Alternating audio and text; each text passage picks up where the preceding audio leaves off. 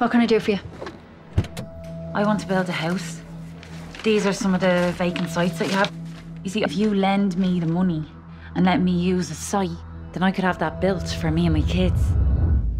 I'm really sorry. I can't help you with this. We can't go on like this. Just keep telling yourself it's temporary. Sorry, guys.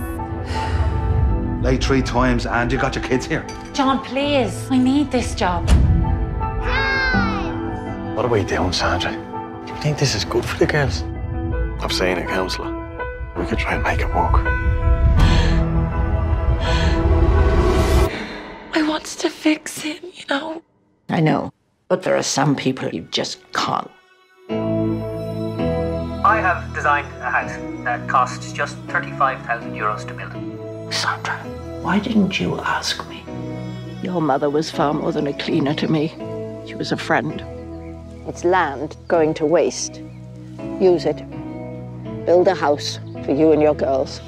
Hi, my name's Amy Cassandra Martinez with Hollywood First Look Features, and today I'm chatting with Clare Dunne, who co wrote the film and plays Sandra, and Harriet Walter, who plays Peggy. This is an unbelievably empowering film, so we had to take it back to where it all started. Clare, I know the genesis of this film was back in February 2014. Uh, what was it like for you to see this come to fruition? Well, it was one of the biggest journeys of my life, and I'll never forget it. And just seeing the production offices being set up, just seeing people come together and talk about this thing that's going to happen was already fascinating. And then obviously seeing the building of the house in the back garden of the lovely family that gave us their home and land to build on. And I just, I love the kindness of people in Dublin to give us locations and stuff like that, like difficult locations where we were to have to build a bloody house. And I just felt like the, the film and the house started to be, uh, become one, like Sandra's story and my story of building it. It was like I was learning about the importance of community and how kind people can be. It was absolutely amazing. It was amazing. And then the finale moment, well, two finale moments of just kind of seeing the film shown to audiences in Sundance and Dublin was probably they are just the top nights of my life. Yeah, so when Clare first showed me the screenplay, we were working together in the theatre, we were in an all female collective, very preoccupied by domestic violence against women because we were working in women's prisons in the UK. Um, and she showed me this, and I was thinking about doing another movie at the time, and but I was immediately struck by my God, this is her first screenplay. Um, it's the writing is so fresh and original, and it felt like she really knew who this character was. Gradually, as I got more and more, oh, would you read another draft and have a look at this? Um, I heard somebody say who just read the script, they were like, Clare, because at that time Clare wasn't going to play the lead. She'd written herself a small little sister character. She was just thinking, I need this story to get out there. I don't need to be playing being the star. I'll just be in it and you know we'll we may need you know a star to play the lead to get it financed. And someone was saying, "Oh, Clare has written a role for a great great leading movie actress." And I was like, "Yeah, yeah, her self. Not not the other some other actress. She's got to play this part." And I just thought at that moment, I'm going to do this because if I do it, I'm going to make damn sure she does get to play it. And so that's how we went to the next stage of the journey. Harriet, at what point did you decide, okay, no, I absolutely have to be a part of this film? And what was it about this role that made you want to be a part of it? Oh, so many things. It was mainly the project because, in a funny way, I feel um, there's a parallel between Peggy and Sandra and me and Claire in that you want someone to fulfill for themselves what you didn't quite make. And as, as sort of cherry on the cake, there was a role for an older woman in it. Uh, it was a no-brainer, you know, long as it.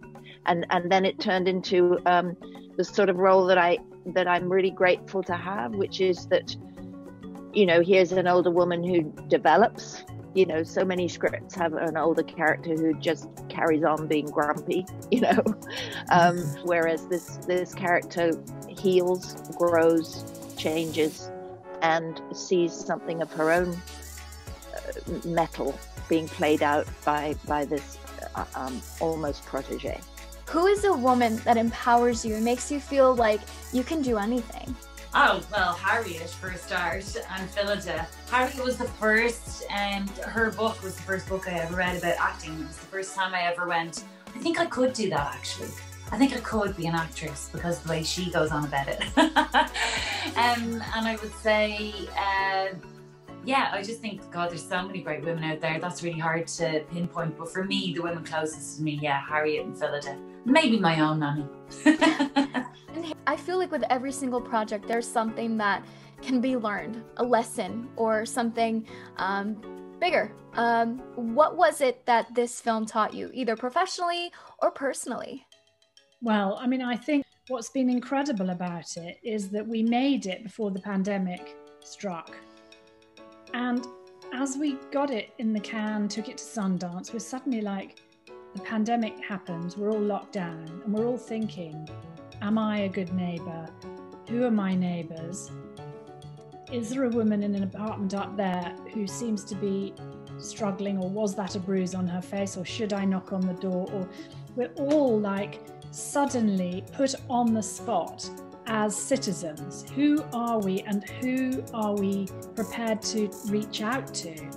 And so everything about the experience of making the film, its themes of isolation and community suddenly seemed like, oh my God, okay, th- this really is hopefully going to speak to people who are going through this, whether it's, you know, those of us who are lucky enough to feel safe in our homes or those of us who feel fragile in our homes. It feels like there's something here that could be shared with most people.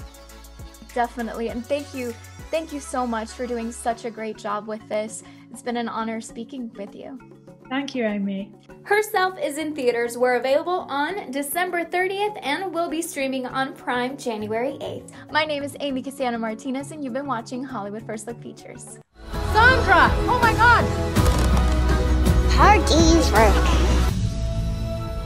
Are you going to see her dad? She's not herself. She wants to stay with me. You lied to me, Sandra.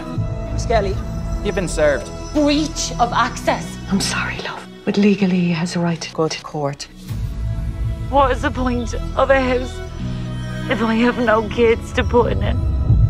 Most of us get so sunk in our own pain we don't notice our children's. But you did. And that makes you a good mother. You all know what he did to me. And yet you still bring me in here and you ask me questions like, why didn't you leave him? But you never ask, why didn't he stop?